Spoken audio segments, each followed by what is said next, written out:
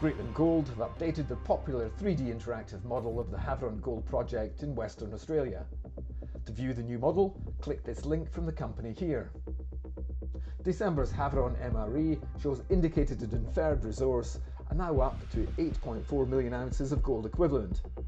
The mineral resource estimate reflects 93,000 metres drilled since March 2022, adding an upgrade of 1.9 million ounces, or a 29% increase in total gold equivalent. The updated mineral resource estimate and 3D model shows that the Havieron life of mine assumptions will continue to be extended. This is an attractive gold copper tier 1 asset with low capex costs. The world's largest gold miner, Newmont Corp, are a 70% JV partner, and analysts at Canaccord Genuity maintain a speculative price target of 29 pence for the GGP share.